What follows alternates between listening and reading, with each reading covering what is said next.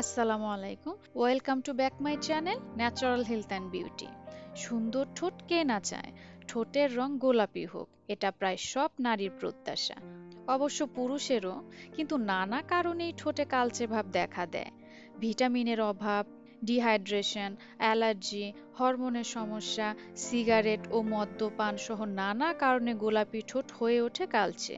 তবে মন খারাপ করার কিছু নেই। ঘরোয়া কিছু পদ্ধতি ঠোঁটের হারিয়ে যাওয়া গোলাপি আভা ফিরিয়ে আনতে পারে। ভারতের জীবনধারা ও স্বাস্থ্য বিষয়ক ওয়েবসাইট বোল্ড স্কাইয়ের এক প্রতিবেদনে তেমন কিছু পদ্ধতির কথা জানিয়েছে। আসুন এক ঝলকে সেসব দেখে নিই। লেবু। লেবুর রসে থাকে ব্লিচিং উপাদান। প্রতিদিন ঘুমাতে যাওয়ার আগে লেবুর রস দিয়ে ঠোঁটে ভালো করে ম্যাসেজ করুন। এতে ঠোঁটের কালচে ভাব দূর হবে। বিট। এক টুকরো বিট নিয়ে ঠোঁটে ভালো করে ম্যাসেজ করুন। পনেরো থেকে বিশ মিনিট পর ধুয়ে ফেলুন। বিটে থাকে অ্যান্টিঅক্সিডেন্ট যা ঠোঁটে সতেজ ভাব এনে দেবে। ঠোঁটের কালচে ভাবও দূর করবে। শশার রস। শশা ব্লেন্ড করে রস তৈরি করুন। তারপর সেটা ঠোঁটে লাগান। বিশ থেকে তিরিশ মিনিট পর ধুয়ে ফেলুন। শশার রস ঠোঁটের আর্দ্রতা বজায় রাখে। ঠোঁটে সতেজ ভাব এনে দেয়। গোলাপ জল।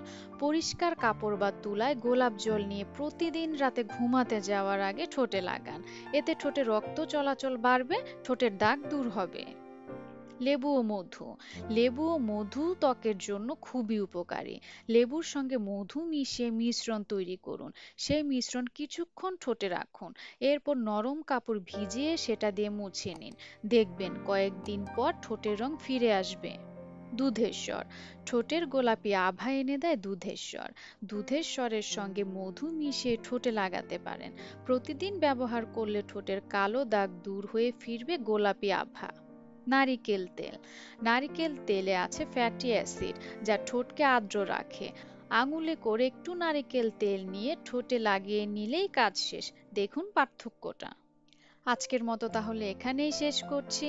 ইনশাআল্লাহ অতি শীঘ্রই ফিরে আসব পরবর্তী ভিডিও নিয়ে। সে পর্যন্ত, আসসালামু আলাইকুম।